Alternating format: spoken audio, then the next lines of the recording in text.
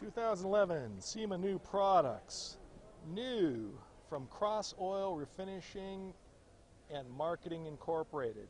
SynGard 5 weight 30 Dexos 1 packaging. New Premier packaging from 5W30 Dexos 1 quart bottles.